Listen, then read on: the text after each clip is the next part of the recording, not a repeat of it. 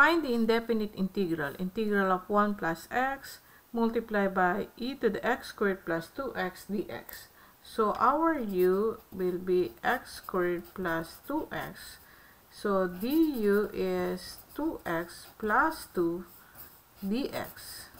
So this will be du is equal to 2 x plus 1 dx. So as we can see, 2 is missing, so we can have 2 over 2 integral of, this can be written also as 1 plus x because it's addition, you can uh, switch their position. So we have 1 plus x e to the x squared plus 2x dx. So we have 1 half integral of 2 1 plus x e to the x squared plus 2x dx. Then we will move this beside the dx. So we have 1 half integral of e to the x squared plus 2x multiplied by 2 1 plus x dx. So we have 1 half integral of, we will substitute our u, so e to the u and 2 multiplied by 1 plus x dx is our du.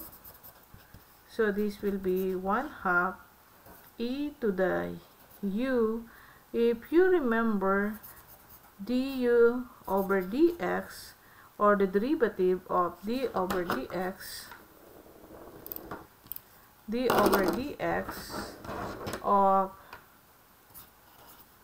e to the u is equal to e to the u multiplied by u prime.